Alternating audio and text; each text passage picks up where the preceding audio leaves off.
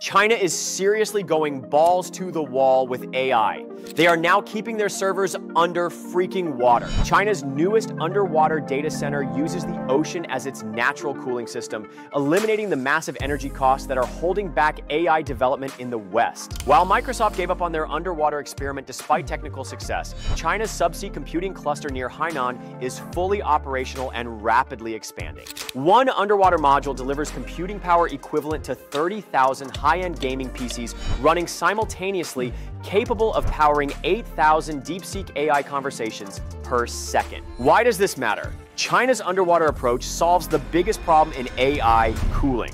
Servers generate enormous heat, but by submerging them, Shenzhen HiCloud Technology eliminated costly air conditioning systems that drain both power and profits. Microsoft abandoned their Project Natick despite servers failing eight times less than traditional ones, claiming it wasn't practical for their needs. Meanwhile, China is doubling down, planning 100 underwater modules that will save 122 million kilowatt hours annually. While American companies waste billions on cooling costs, China's underwater AI factories are delivering more computing power with a fraction of the energy consumption, making AI faster, cheaper, and more accessible. Will America's tech giants wake up before China's underwater advantage becomes permanent?